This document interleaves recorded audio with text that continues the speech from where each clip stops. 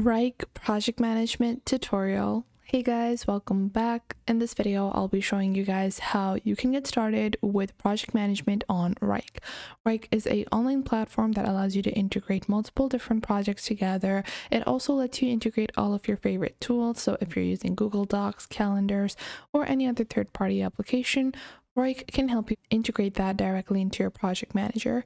They have multiple different features such as views, automations, they also have a mobile app, and you can even view your project in a timeline view just to get a better idea of your project's timeline. So let's get into Wrike. Now, the first thing we're going to do is we're going to sign up. So to do that, simply click on get started on the top right, and you can just enter the name of your company, click on get started over here. And what I'm going to do is I'm going to sign up with Google to make it easier, but you can just sign up with your email address. That's all you need on Wrike. And we are going to continue on over here. And once you do that, you will be led to your basic workspace. So this is our basic workspace on Wrike. Now, keep in mind you can build multiple different spaces for multiple different businesses or projects.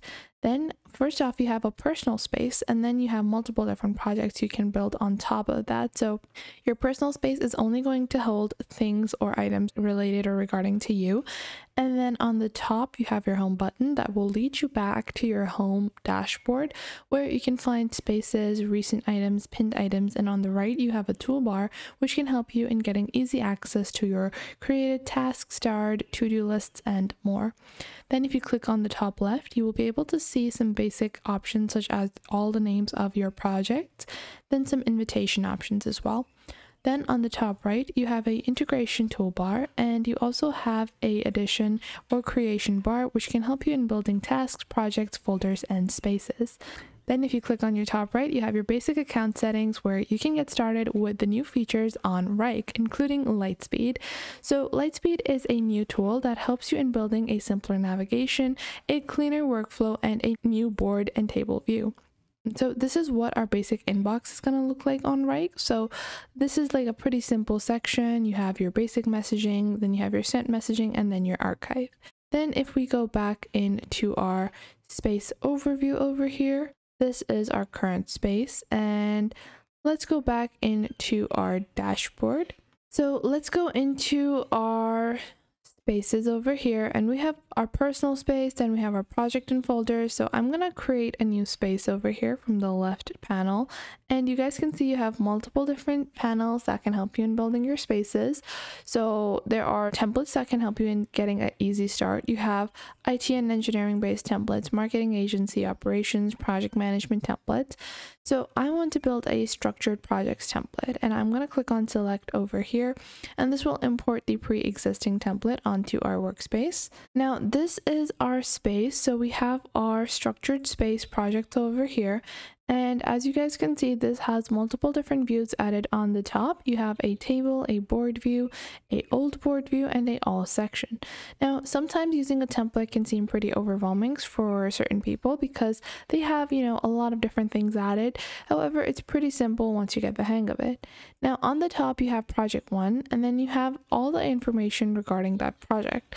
Now, this is listed in a um, anti-chronological order, so it's the most recent thing on the top top and then the later thing or you know the previous things at the bottom a lot of people don't prefer this kind of view.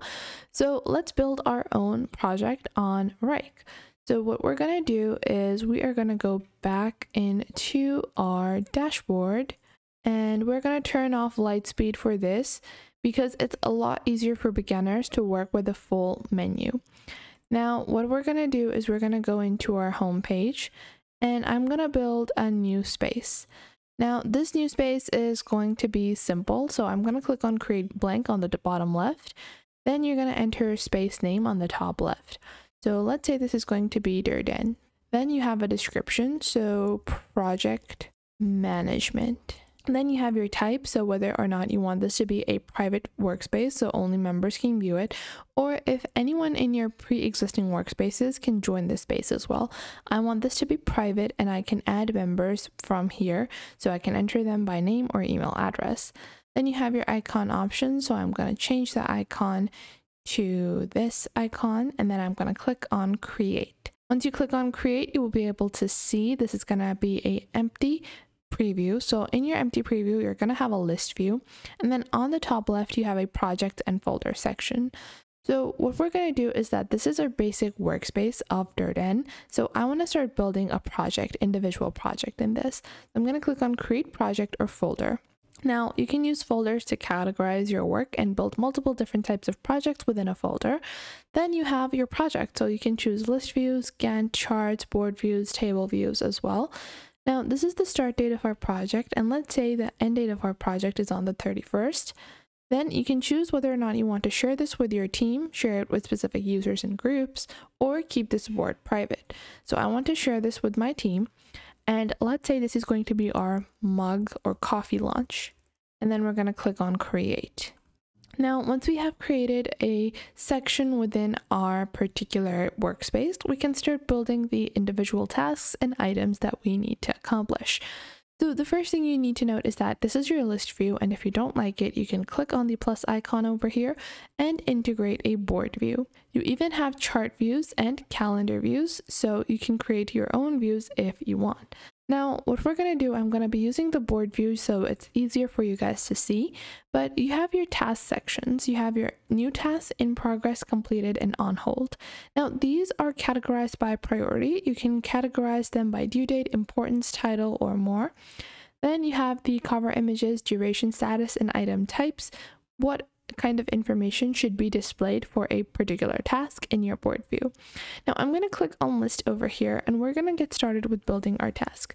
Now the first thing I'm going to do is I'm going to add ideas. Now this is going to be a task. This is just to help me in categorizing all the items. So what I like to do is I like to name one item and then after that, I'm going to start building the tasks that actually fall under ideas. So it might be add idea or Facebook marketing like this. You can add, you know, multiple different tasks. And I'm going to move, you know, the item of ideas on the top so it's easier for me to be able to see. If I go onto my board view now, so you guys will see ideas, Facebook marketing, add idea. Now, some people don't like this kind of categorization. So if you prefer just your task to be added directly, you can remove this particular section. Now, this is just the title of your task. Obviously, you're going to add details. So to be able to add details, you're going to click on the particular task. Now, once you click on your particular task, you will be able to see a lot of options regarding that task. So you have your status option, then you have the assignee option. Let's say I add an assignee. Then you have a set date, so when this task is supposed to start, let's say we're supposed to start on the 6th, and then the due date for the task might be on the 13th. So after that, maybe, you know, I have to provide reporting on that particular task. Then after that, you have sub items. So I have a sub item to create um, coffee Facebook page. Then maybe I have to run ads, build a contest, you know, have a contest winner, contest winner. And obviously these are just very general tasks i'm adding. You're going to add them in more detail. Now once you do that you have this particular task assigned to one person. You can assign them to multiple different people at one time as well. And below that you have a comment section where you can add some comments. You can also attach files as well as add some descriptions emoticons and tag other people then on the top right, you have your basic options where you can choose to add assignees and even follow a task or even favorite a task.